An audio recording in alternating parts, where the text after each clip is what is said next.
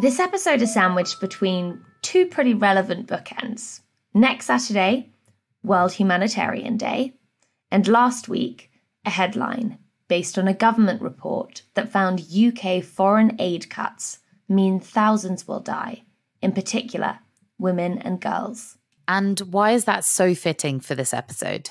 Because this episode is about women and girls in crisis zones They'll be telling us how they are disproportionately impacted by disaster, but how responses fail to address this. And that could not be more relevant in the UK than right now.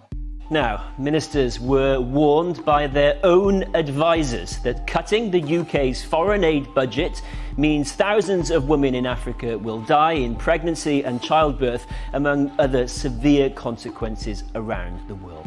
Kenya, Afghanistan, Yemen. This episode, we will hear from women in all these regions. In a few weeks, we'll also hopefully be speaking to Andrew Mitchell, the development minister who actually published this report. He can hopefully help us to understand the barriers decision makers are grappling with. But today is about women and girls, and it's women and girls we'll be hearing from. So I can see the problem if budgets are tightening, then you can understand why certain sexual and reproductive health services, i.e., aid that only caters to half of a population, would be the first to go, as opposed to universal support like food and shelter. You know, who's to say women's needs are more important than collective needs? Except there's a flaw in that logic because it assumes everyone starts from the same position of need, that there's a collective based standard. But as we'll hear in this episode, humanitarian crises, while they often bring very specific dangers to men, disproportionately impact women and girls by some incredibly severe metrics. Okay, what are some of these metrics? Well, the biggest one of all, I guess, is mortality. The UN Development Programme has found that when disaster strikes, women and children are 14 times more likely to die than men. What? Are you serious? How how can that be? Actually can give you some real examples of the 230,000 people killed in the 2004 Indian Ocean tsunami. 70% were women. 70%? Why? Do you remember in our climate episode actually Dimali Kodikara, she did talk about how women's clothing made it harder for them to escape from tsunamis. And factors include women having fewer coping mechanisms for survival, such as bank accounts or education, less independence in making life saving decisions due to culture or religion. Then there's reproductive health needs. Heightened gender based and sexual violence is a big one in times of stress. There's forced child marriage in times of financial hardship. So, what this means is that without targeted, gender based emergency responses, women's rights are not just stagnating, they're actually getting worse. So, if this is the case, why isn't this reflected in emergency responses? Because women, especially women from impacted communities, are underrepresented in the humanitarian sector at high up decision making levels. But we will be hearing from those trying to change that women leading solutions in the crisis struck regions of Yemen, Pakistan, and the world's biggest refugee camp, Kenya's Kakuma. The women in this episode are quite amazing. They came to Media Storm via the International Rescue Committee, the IRC, which is trying to raise awareness of the gendered impacts of crises. That's exactly what Media Storm is all about.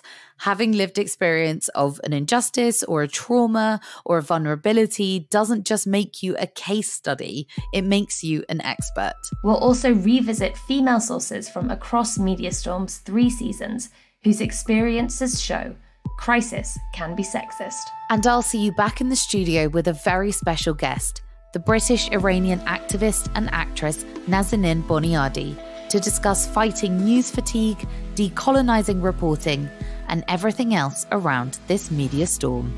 There's fury in the aid sector over the cuts. Our world is in hot water, massive floods, record heat, forest fires burning out of control. We are back with the latest on the situation in Sudan, which is embroiled in a violent power struggle. Do you know how many Russians your team have killed? Real men in combat. Where are the women? Welcome to Media Storm, the news podcast that starts with the people who are normally asked last. I'm Matilda Mallinson. And I'm Helena Wadia. This week's investigation Women in Crisis Is Conflict and Disaster Sexist? First, we take you to Yemen, 2015. Civil war has just broken out after Houthi forces stormed the capital and ultimately seized the presidential palace. And somewhere in the middle of it all, a young doctor called Waoud Afara has just gotten pregnant. For me, to be a mother, it was like a dream. But unfortunately, it was a very difficult time. I was always worried about my safety and the safety of my baby. Many clashes were around my home. I remember one day I was in the third floor at my home. Suddenly, I found myself on the ground floor. The sounds of the clash were very high. I didn't know how I moved that far downstairs. Oh, Alhamdulillah, my baby is now eight years old. We are good, Alhamdulillah. Dr. Waoud Afara took her trauma and made her trade. A year after the birth of her first child, four years after graduating from medical school, she joined the IRC, a global humanitarian aid NGO, as a reproductive health officer working in Aden City. And that's where she's calling us now, which is why you might hear the call to prayer in the background.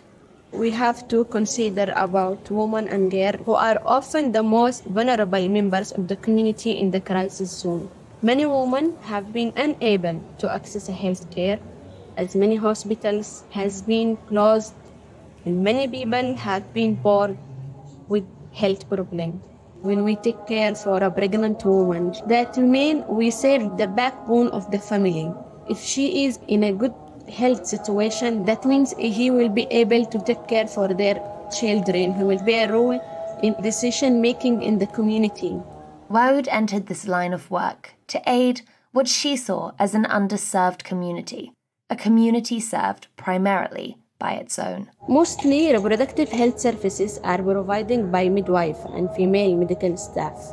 We have to continue our work because if we are not helping them, who will help them? Who will help them? This is the story we are telling today. Women as their own saviors, heroines of disaster. I have been work with IRC for over eight years. I have seen firsthand the impact on their work on women and girls. I have met women who have been able to take care for her children after experiencing complicated delivery. I have seen children who have been able to go to school and get education. I have also seen communities that have been able to recover from conflict.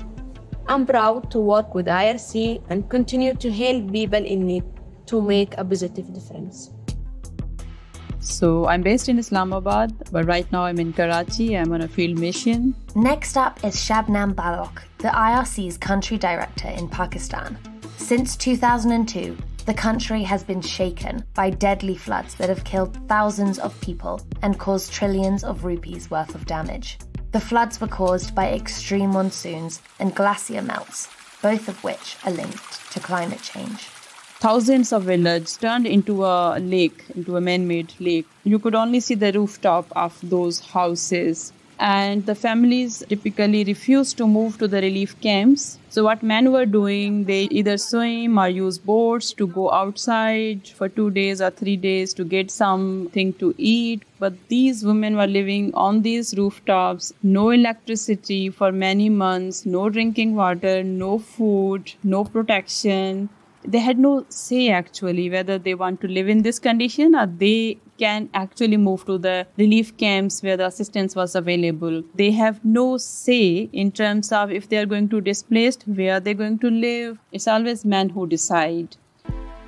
We have heard about the intersectional impact of climate injustice and gender inequality previously on Media Storm. Our investigation into big oil during season 2 took us into the Niger Delta, where communities devastated by oil spills are taking Shell to court. Here, we met a woman called Esther Kati. I'm a midwife. A midwife from the Ogale community, she has been delivering babies since 1989, and she wanted to talk to me about the impact of spilled oil on women and reproductive health. Most of the women they are suffering. There is a lot of problem, bleeding, and there is a lot of barrenness. There is a lot of sickness in the body. When the oil is not flowing in Ogale, there is no sickness. But this time, the farm we are planting, everything we are eating is not good. When we eat those things, it affects our system. That is why we sick. I cannot count the number of women they are delivered children that I just delivered them. So a lot of them born and die. There are many like that. But it is not just environmental damage that brings harm to women. The infrastructure, manpower, and economy of climate destruction has given rise to lawlessness and corruption in many frontline regions. King Okpabi of the Ogale community told me how soldiers dispatched to man the oil pipelines had rendered the roads unsafe for women. Soldiers who are guiding the pipeline, they harass our women who are going to farm. And Rachel Heaton, an indigenous activist I met from Seattle in the US, described how oil pipelines being developed through her community's sacred lands have coincided with significant rises in rape, femicide, and the disappearance of thousands of indigenous women. So when these pipelines go through our communities, they build these man camps, and these are just trailers that are set up in the middle of nowhere. It contributes to the issue of MMIW, which is missing and murdered Indigenous women. There is an epidemic of thousands and thousands and thousands of women go missing as a result of the fossil fuel industry. The numbers are astronomical and they're not reported by the police. Back to Shabnam in Pakistan. Shabnam, talk us through how humanitarian crises like you've seen in Pakistan can have a gendered impact. The gender based violence is multiplied. Since men are under a tremendous trauma, it is easier for them to take out their frustration on the women who are living with them. Another part of it is in the patriarchal society, they are confined mainly in their homes.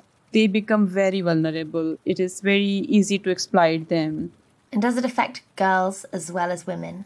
Tremendously, tremendously. Since family is under huge financial burden, it's easier for them to marry off the young girls, to have one less mouth to feed. And we have witnessed a lot of such cases.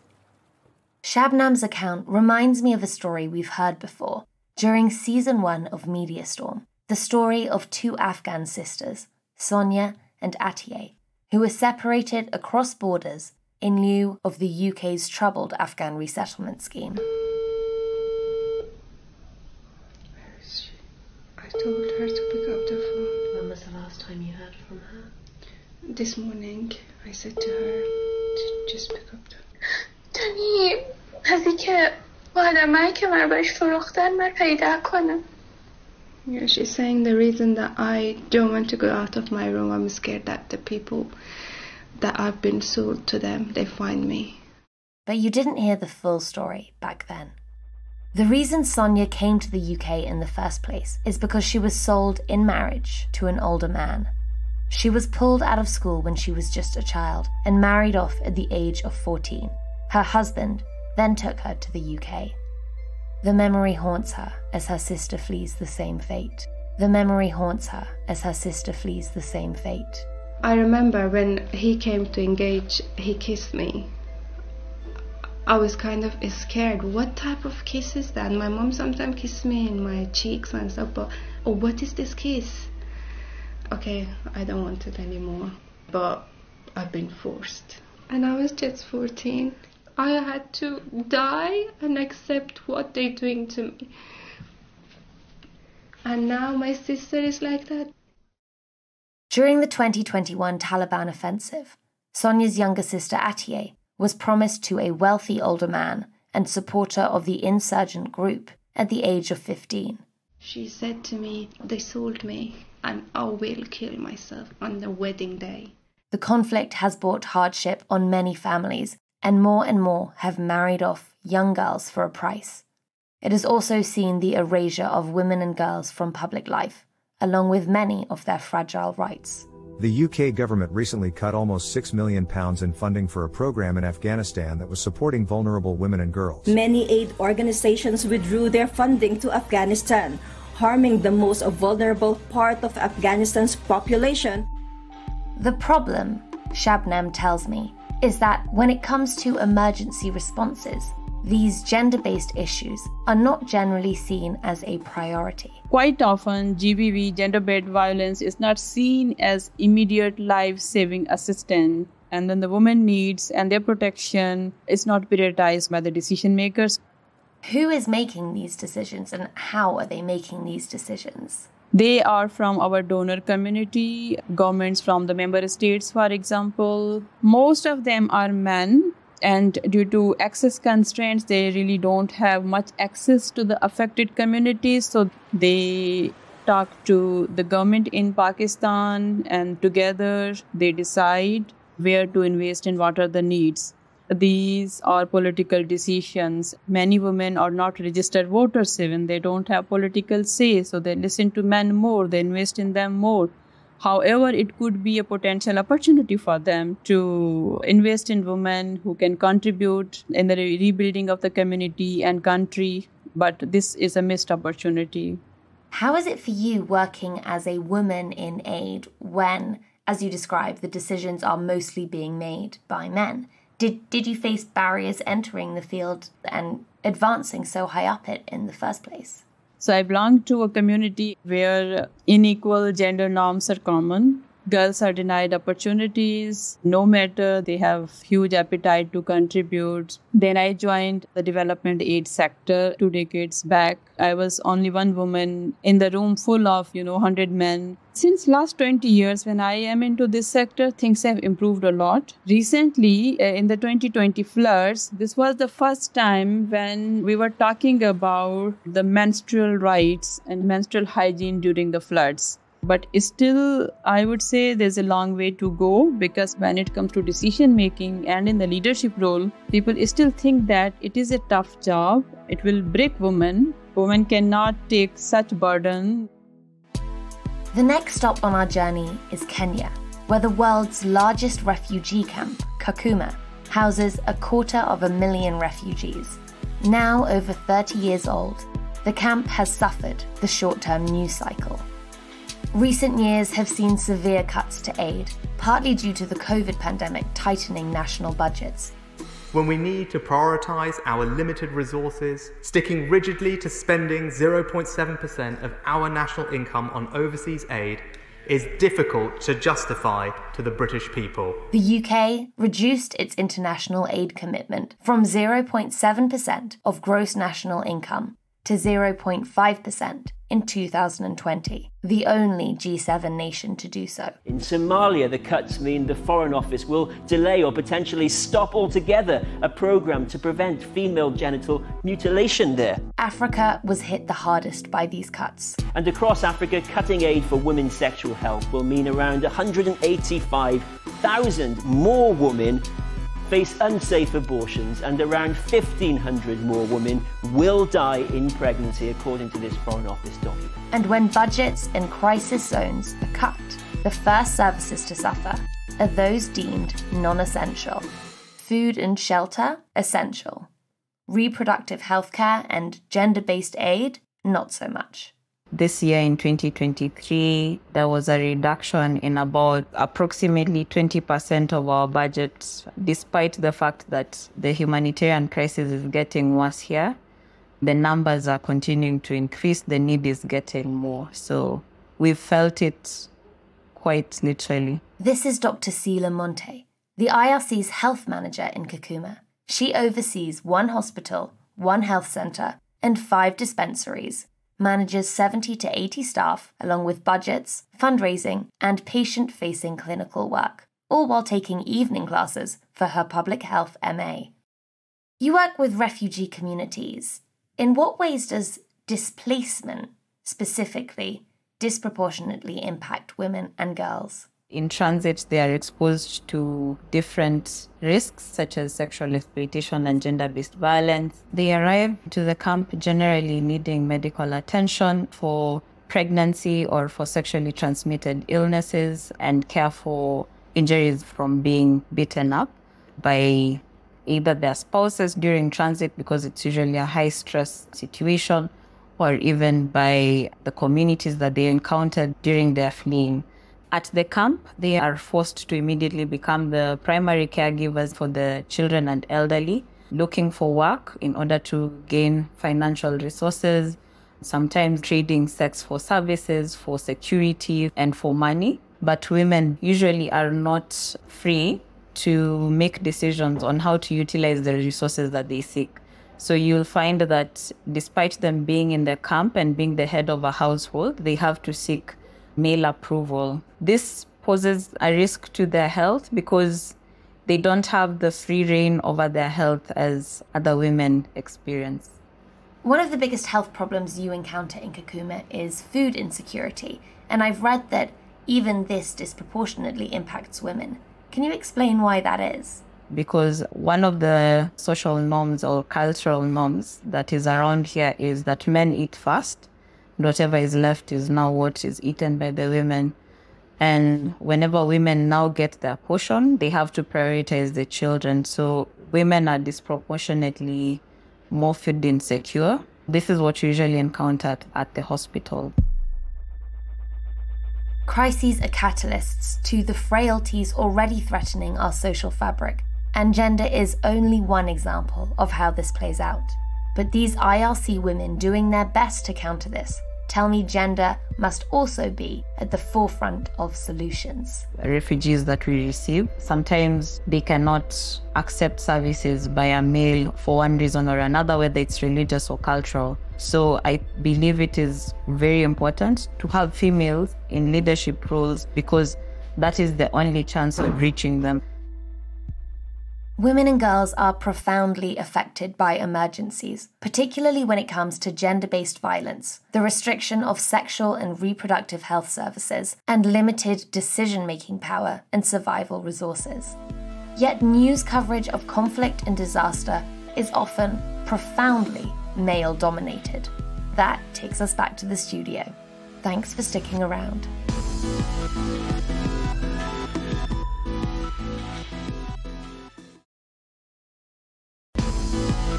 Welcome back to the studio and to Media Storm, the news podcast that starts with the people who are normally asked last. Our guest this week is an Iranian born Screen Actors Guild and award winning actress and renowned activist. You might know her from the Lord of the Rings series, Homeland, How I Met Your Mother, or Hotel Mumbai. Since 2008, she has represented Amnesty International's campaigns for the restoration of stolen human rights she has published opinion pieces across global media outlets from the New York Times to the BBC, spoken at the UN, the US Capitol, the UK Parliament, and has been one of People magazine's 25 Women Changing the World. We're so lucky to be joined by Nazanin Boniadi. Welcome to Media Storm. Thank you so much for having me. Over the past year, Nazanin, you've used your platform to keep the world's eyes on Iran after women's rights activists rose up against the state murder of Mahsa Amini. Mahsa Amini was a 22 year old woman who died after being detained by the country's so called morality police September of last year. Nazanin, can you first just tell us a bit about your personal background and why this fight is so close to you? Of course. I was born basically just a few months after the Islamic Revolution of 79. So my parents were dissidents against the newly forming Islamic Republic. And their lives were at risk. They tried to escape once when my mother was seven or eight months pregnant with me, and um, my father was summoned over the, the PA system at the airport to the Revolutionary Court. And of course, the fate back then, anybody who was summoned would have been the firing squad. And so, understanding that they had to leave, they basically found a way to escape to London uh, when I was 20 days old. And yeah, I grew up in London, but that sort of revolutionary fervor was always in my psyche. And I knew I had to use my freedoms to protect those of the people I left behind. And, you know, my, I always joke that my first protest was in my mother's room because she would be one of those brave women on the front lines, the same women that we're seeing today uh, bravely defy the Islamic Republic. Thank you so much for sharing that story with us. What we do want to do is paint a picture of, of some of the problems that we've seen, particularly on today's topic, which is women and girls in crisis zones. Disaster, in particular, conflict related disaster, is often considered a male topic in journalism. It deals predominantly with male politicians and male soldiers as well, and, and male correspondents are typically reporting it. Women are often not interviewed or, or mentioned at all let's actually paint you a picture. So, the journalist and academic Eva Boller analysed TV reports throughout the 2011 Libyan war from the BBC's News at 10, the ARD in Germany, and TF1 in France. Let's start with the correspondents, i.e., the on screen journalists themselves. None of the seven German correspondents were women. One of the nine French correspondents were women, and seven out of 29 BBC correspondents were women. Then you have to look at the actual people being interviewed. Only 10% of voices were women. There were over 100 reports in which all the voices were men and none in which all the voices were women. Now, reporters will often justify this absence by saying, well, most of the key decision makers and public figures in those countries are men. Or they may say something like, it's difficult to talk to women for various cultural reasons. I wonder, Nazanin, how you would respond to that. What do you think that they are missing by not seeking out those female perspectives? First of all, those statistics are shocking, aren't they? Um, if you seek out those voices, understanding full well that sometimes, in the case of Katayoun Riahi, for example, when she gave an interview to a foreign outlet without her compulsory hijab, just days after the, the murder in custody of Mahsa Amini, um, she was then charged. And so she uh, puts herself at risk by speaking to a foreign journalist. And that is the, the, the harsh reality of it. That being said, there are people who are willing on the ground. In addition to that, there are so many dissidents who have found refuge in Western countries or in democracies who are willing to speak. Please seek them out. And I think an added layer to this is the fact that we're not providing safe havens to these dissidents who can be the voice of the people. So if we want access to the voices, the real voices of the people, then we have to afford them the opportunities to live freely and comfortably and have safe havens in our countries, in our democratic countries, and not give those same opportunities to their oppressors. Mm. Yeah, it's so true what you say. They are there and we need to seek them out. And I was really interested when reading the research Helena just shared that statistically, female correspondents were more likely to include female voices in their reports. So the women are there. It's just that men historically have been less likely to seek them out. But hopefully that's changing particularly with what we've seen in Iran. Yes, I hope so. Yeah. And I think one of the areas where this disparity is particularly true is not just in war, but in displacement. And our news is generally Eurocentric, right? Meaning that when we do cover displacement, we cover it through the lens of people coming to our countries, people crossing our borders.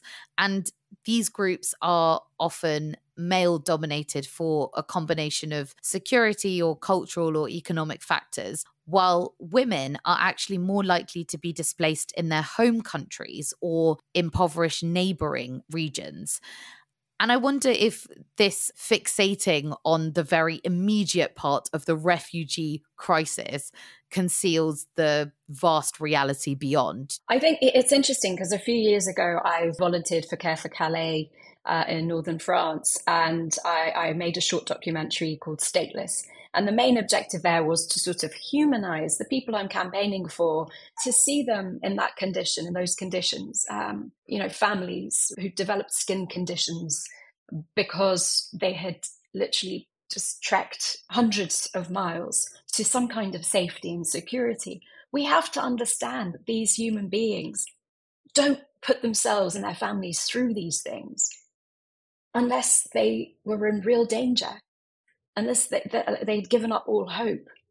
And I think when we're talking about the immediate struggle of, of the refugee crisis and, and, and how people are trying to get to the UK or elsewhere, we diminish the experience that what what they'd gone through before that point and we we don't have a, a broader picture and a perspective Gosh, Nazanin, I actually worked in the camps in northern France for a few years, and that's the reason I went into journalism. And one of the things that really, really struck me at the time of the Iranian protests was how the Western media would really heroize the women in Iran and the struggle that they were facing in their home country. But at the same time, and with no awareness of the irony involved, demonize refugees, including Iranian refugees coming across borders in search of sanctuary. I mean, in the in the UK specifically, we have a lot of headlines demonizing so-called channel migrants, and among these people crossing the dinghies, Iranians are one of the most represented populations. So, yes, the media can be hugely Eurocentric, and that really obscures our understanding of humanitarian crises in a global context. Um, let's talk specifically about the language in the media that often presents women, as you say, in such a two dimensional way.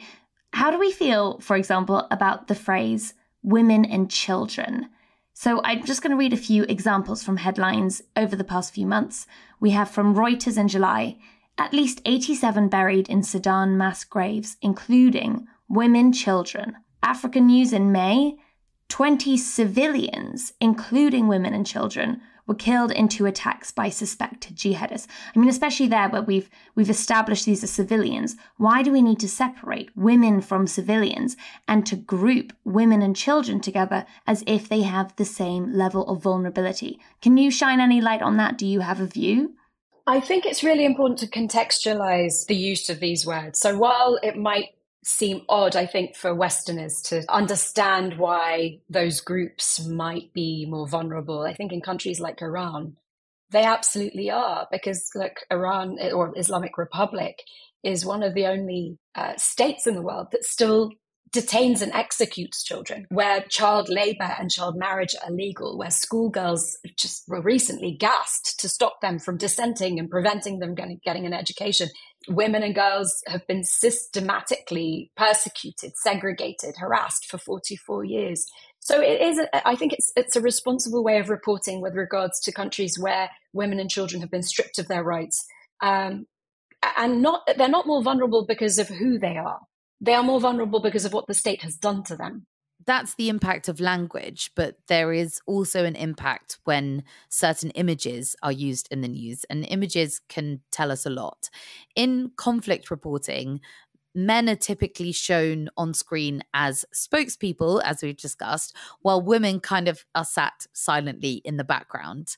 If we look again at that analysis of the Libyan war we mentioned earlier, as shown on the UK, France, and Germany's main news channels, the most telling metric was the footage, so the imagery actually used to tell the story. And most of it showed male rebels on cars with weapons, shooting. They were often captured from uh, a lower angle, making them seem sort of heroic in stature. And the majority of the footage featured not a single women. yeah, I guess there were no women in the Libyan war.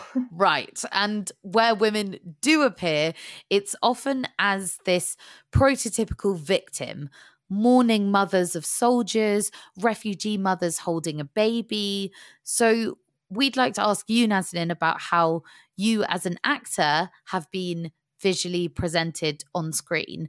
And we were wondering when ethnicity, nationality, or religion has been a part of your character, has it been represented accurately, or has it ever fallen into the stereotypical Western tropes of Iranian or Muslim women? Oh, that's an excellent question. I def- definitely there have been tropes and stereotypes, you know, that I've faced, but I've always sort of tried very hard to choose roles that don't really subscribe to those tropes and stereotypes as much. Now, times have changed. This sort of idea of being tokenized or completely having your ethnicity erased is something that has been very prevalent in our industry, particularly for MENA, Middle Eastern, North African, South Asian actors, where you're either just a girl called Sarah, who happens to look like me, and there's no reference to your ethnicity, so your ethnicity and your identity are completely erased from the screen, or if you do play uh, a,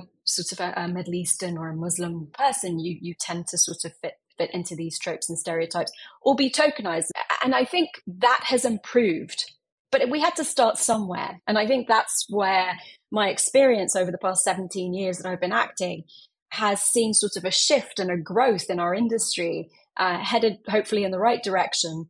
Um, of understanding the nuance of, of what we're portraying on screen and hopefully learned from what we did in the past and improved it there's a fine line of making something authentic and not stereotypical. You also need people who are Middle Eastern, who are South Asian to be behind the cameras and to be writing the scripts and to be directing the TV programs, not just in the forward facing on screen roles, because otherwise the authenticity is never gonna never gonna arise in the end. That's right. That's that's a very good point. I think we absolutely need these marginalized voices behind the scenes as well. That's where the stories are being created. So, yes, absolutely. Time now to look at a recent story that's dominated our headlines in recent memory and a news cycle in which you, Nazanin, were particularly involved the women's revolution in Iran. Protests broke out last September following, as mentioned, the death of the 22 year old Mahsa Amini. And our news was dominated by powerful images of women removing their headscarves and cutting their hair in rejection of the regime's coercive gender based policing. I know we've touched on it, but we want to start with what was good about how this story was covered. To me, it felt like one of the first times we've seen women being presented as leaders of something rather than of victims in times of crisis. Let's just talk a little bit more about um, if there's any praise for how this story was reported internationally, Nazanin.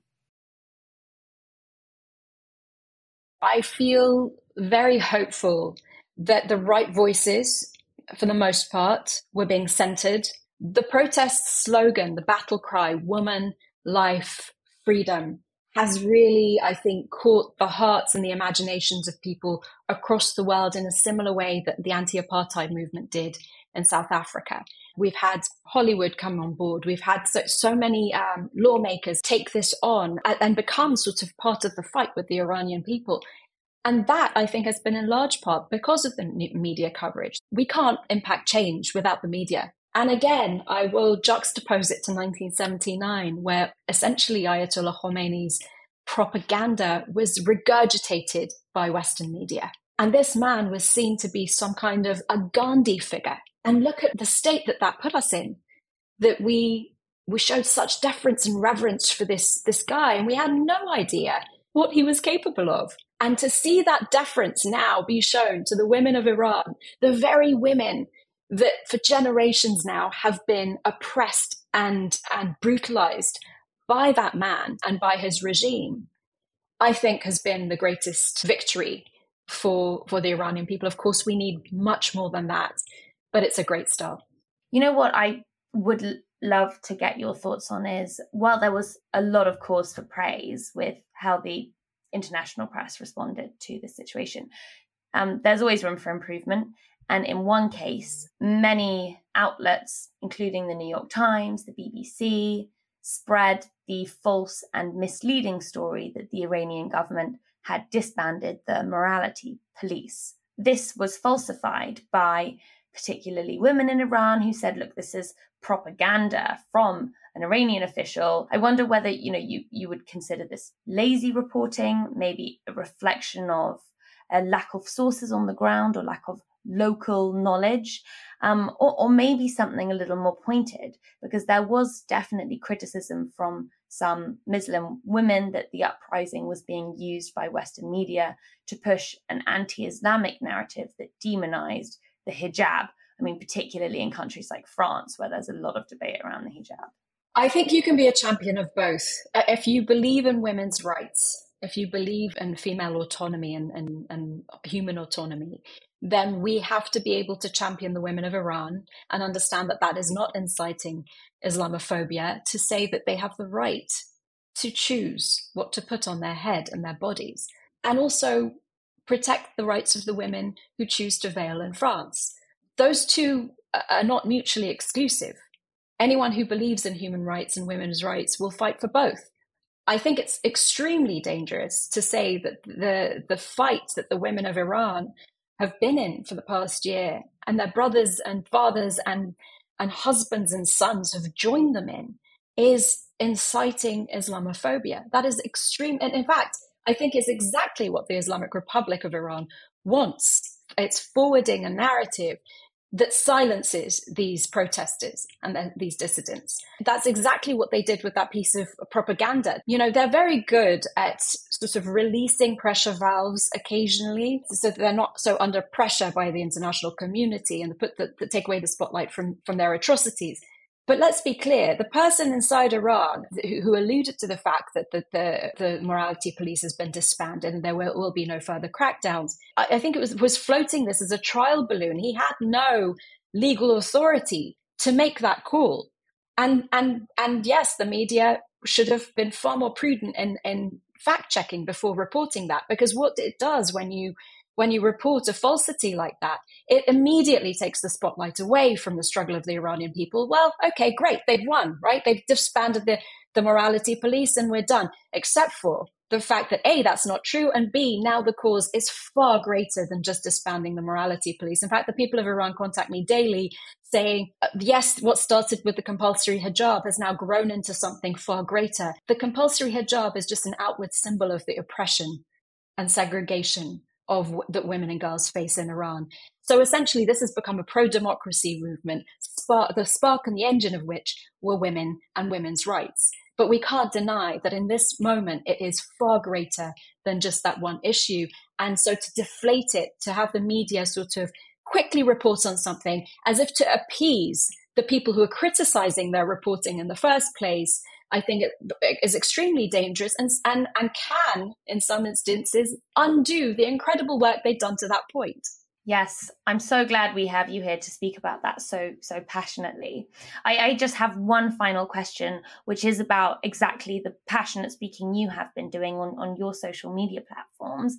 Again, something that was being messaged to me by some women um, in Iran was was shadow banning being an issue on social media. Did you did you feel as though um, your content on what was happening in Iran was being blocked by the social media algorithms? Is that something that you encountered? Yes. First of all, the Islamic Republic and, and regimes like that will use uh, cyber army at- tactics. So basically, they'll have tens of thousands of people essentially attack uh, dissidents who are, who are reporting or, or fighting for the, the, rights of the Iranian people, people like me. So there will be smear campaigns, there will be coordinated efforts to silence us. But on top of that, there are t- accounts that are being banned. Of course, social media in, on the whole is banned in Iran. So people inside Iran use VPNs and other tactics to get access to the content that people like me are putting out.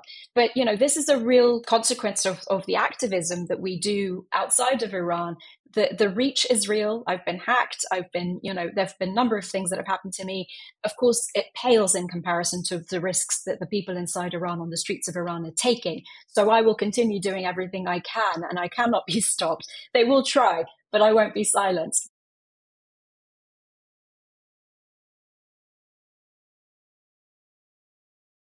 Amazing. Nazanin, we're so glad that we could have you here today. Before we say goodbye, we would just love you to tell our listeners where they can follow you and, and get all of this important content and, and if there's anything else you have to plug.